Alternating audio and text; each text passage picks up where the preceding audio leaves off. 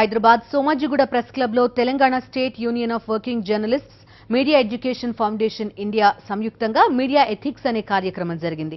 దీనికి press council of India chairman justice CK Prasad ముఖ్య అతిథిగా హాజరై సుదీర్ఘంగా ప్రసంగించారు.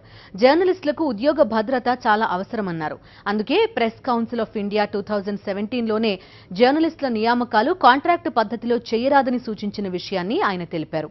అయినా దేశంలోని ఎక్కువ శాతం మీడియా సంస్థలు వాటిని పాటించకపోవడం విచారకరమన్నారు.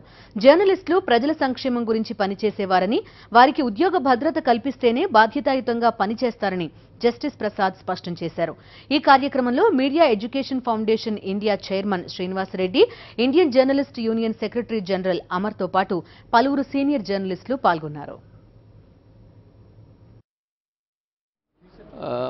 now we are talking about thinking about uh, the, the the contract employment of the journalists, and we are contemplating to have a report on that.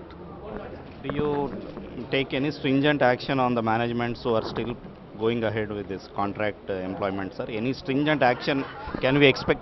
So far, so far the Press Council of India is concerned, it has no role so far as the service conditions of the employees are concerned.